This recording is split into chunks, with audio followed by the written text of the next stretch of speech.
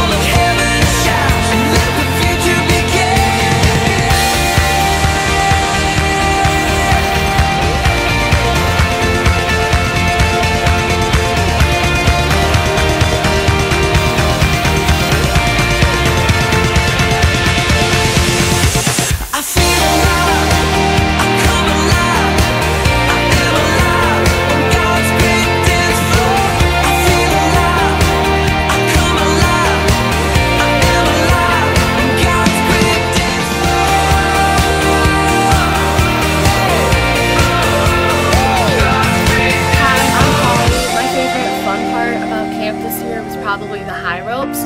My favorite spiritual part was definitely adoration, and I would 100% recommend this camp to anyone. Hi, I'm Hudson Deacon.